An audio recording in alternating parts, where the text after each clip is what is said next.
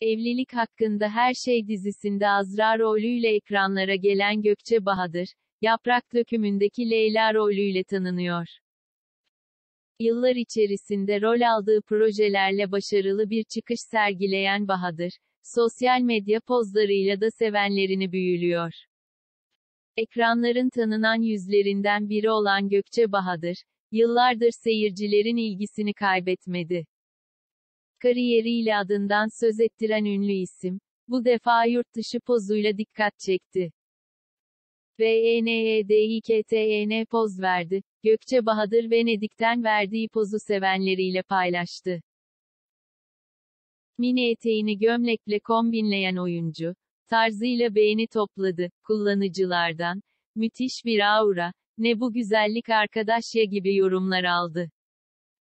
40 yaşındaki Gökçe Bahadır yıllara meydan okuyor, güzelliği ve düzgün fiziğiyle ön plana çıkıyor.